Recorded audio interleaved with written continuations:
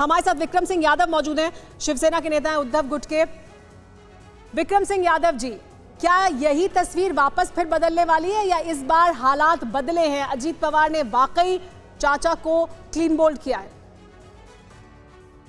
समेरा जी, देखिए, कोई clean bowled नहीं हुआ। ये सिर्फ़ और सिर्फ़ बीजेपी का एक फंडा है कि पार्टियों को तोड़ो और सत्ता, अपनी सत्ता बचाने के लिए। क्योंकि उनको पता है कि सिंधे गुट के जो लोग थे उनके ऊपर डिस्कालिफिकेशन की तलवार लटकी हुई है। तो उन्होंने अपना ये एक प्रबंध किया है और इसके, इससे ज़्यादा कुछ नहीं है। अब ये कहते हैं कि भाई मोदी जी का चलवा है 2024 में हम ये करेंगे, विपक्ष को चारों खाने चिट कर देंगे। मोदी जी की लोकप्रियता है कहाँ पे? क्या कर्नाटका में थी? क्या हिमाचल में थी? क्या दिल्ली में थी? क्या बंगाल में? क्या पंजाब में? मतलब कहाँ है? तो ये ज़बरदस्ती का एक ये माहौल बनाया जा रहा है। और अभी इनके हाथ में पावर है तो ये सरकारी एजेंसियों को विक्रम सिंह जी ये तो तोड़फोड़ की जा रही विक्रम सिंह जी क्या इसे ऐसे भी देख सकते हैं जो आज एकनाथ शिंदे कुछ देर पहले टीवी नाइन भारतवर्ष से बात कर रहे थे। उन्होंने कहा कि शिवसेना में भी यही हो रहा था कि ड्राइंग रूम में बैठकर पॉलिटिक्स कर रहे थे जो ज़मीन के नेता थे जो लोगों के बीच जाकर काम कर रहे थे उन्होंने अपना गुट अलग कर लिया और वो लोगों के बीच जा रहे हैं। अब ऐसा ही एनसीपी में भी हो गया है। उनका ये कहना था जो जो जनता से टूट गए हैं या हट गए हैं वो बाहर हो जाएँगे जो जनता से जुड़े रहेंगे वो सत्ता का हिस्सेदार बनना चाहते हैं। नहीं यही सिंधे थे जी उस टाइम तो आरोप लगा रहे थे कि एनसीपी जो है शिवसेना को खत्म कर रही है इसलिए हम इधर आए कब ये कुछ बोल रहे थे? तो इनकी बातें सारी जो है वो बेबुनियाद बातें हैं। ये सिर्फ़ और सिर्फ़ आपको पता ही सबके ऊपर करप्शन के चार्जेस इनको तो जेल में डाल रहे थे। अब इनको सरकार में ले लिया। तो आप मुझे बताइए इससे बड़ा भ्रष्टाचार और क्या हो सकता है? कि ट्रक भर के सबूत पेश करने की बात भारतीय जनता पार्टी के नेता करते थे। आज आप, उनके साथ बाजू आज में शामिल कर लिया। अब मुझे बताइए आप मुझे बताइए कि देश के अंदर इससे बड़ा भ्रष्टाचार क्या होगा? कि जो भ्रष्टाचारी है उनको आप सरकार में अपने साथ बुला लेते हो तो पाक साफ़ हो जाते हैं। तो इसकी जाँच कौन करेगा?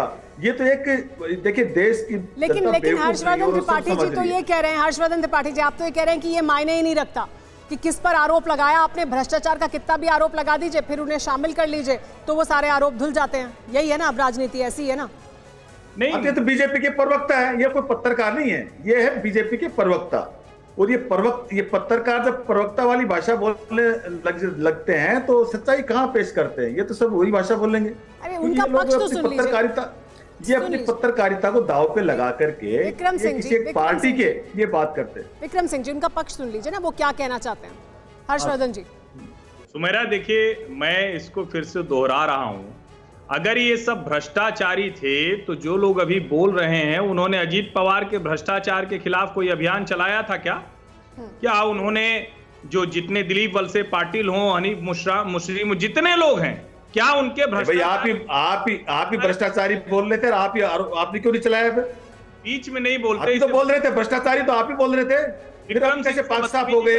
अगर आपको बोलने का इतना शौक है तो मैं शांत हो जाता हूँ। मैं आपसे तू तू मैं नहीं कर सकता हूँ। आप बोलिए।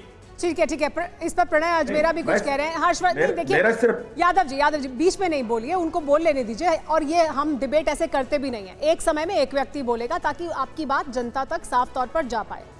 हम हम डिबेट इसी तरह से करते हैं ये डिबेट का फॉर्मेट यही है। एक दूसरे के सामने मत बोलिए ताकि पूरी बात जा पाए। लेकिन इस बीच हम ये नंबर गेम दिखाते हैं कि दरअसल महाराष्ट्र का नंबर गेम क्या कहता है और फिर वापस आकर हर्षवर्धन त्रिपाठी और अजमेरा जी दोनों की प्रतिक्रिया लेंगे। महाराष्ट्र का नंबर गेम क्या है दरअसल? देखिए बीजेपी शिवसेना के साथ मिलकर किस तरह की संख्या देखिए बीजेपी के पास 105 शिवसेना का जो शिंदे गुट है, उनके 40 विधायक हैं। अजीत पवार अब ये दावा कर रहे हैं कि उनके पास भी 40 विधायक हैं तो कुल एक विधायक हो जाते हैं।